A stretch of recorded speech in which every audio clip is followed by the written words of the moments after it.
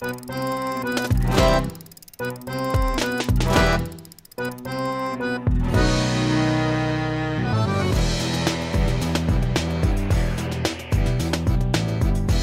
what is over there? Very much far away, very far from the sun. Kuiper Belt lies in array, waiting to be discovered there. All the objects fly in space, rocks, and dwarf planets turn around in Kuiper's Belt.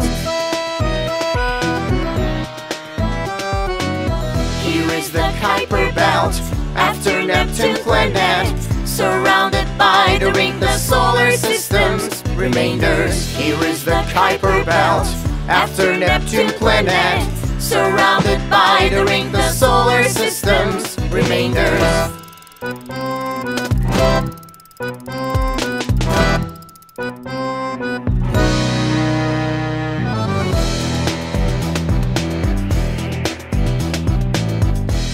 What is over there? Very much far away, very far from the sun. Kuiper Belt lies in array. Rocks will freeze from the cold. This place is extremely cold. Even the sun seems so small when you're in Kuiper Belt's hole.